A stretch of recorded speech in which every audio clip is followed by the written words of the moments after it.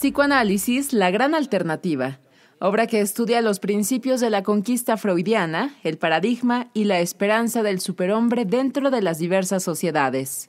¿Qué es lo que hice al escribirlo? Pues compartir mi experiencia, transmitir lo que yo fui conociendo y lo que yo fui adquiriendo con esto y los, los beneficios que encontré y, y, sobre todo la libertad frente a, eh, a los demás dioses que los griegos tanto insistían.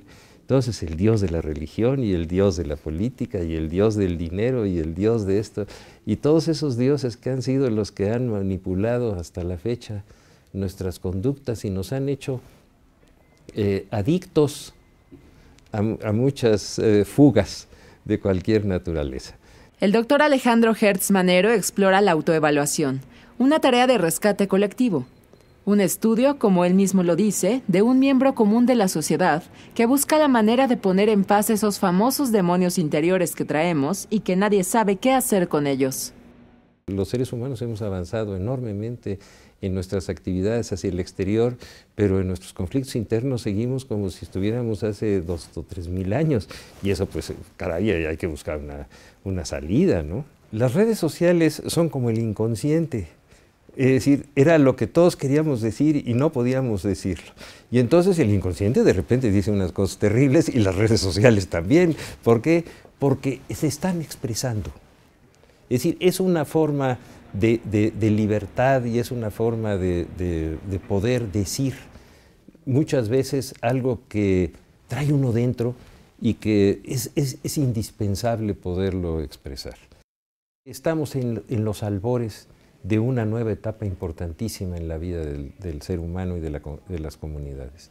Es en el momento en que nosotros ya no necesitamos andar buscando un cielo y empezamos a tratar de encontrar en nosotros mismos los elementos que nos componen sin creer más de lo que somos y de ahí empezar a ponernos en paz con ese yo con el que tenemos una relación tan conflictiva. Al fin y al cabo, en el momento en que ya sabemos quiénes somos, cómo somos y qué tanto podemos esperar de nosotros mismos, hay, una, hay un equilibrio natural.